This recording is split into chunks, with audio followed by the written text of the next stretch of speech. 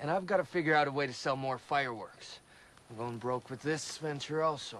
Well, I see you got them snakes and sparklers, but where's the good stuff, man? Good stuff. This is the good stuff. Snakes and sparklers. Are you nuts, dude? You need stuff to explode. Go boom. Why is that good? You might, might as well ask, why is the tree good? Why is the sunset good?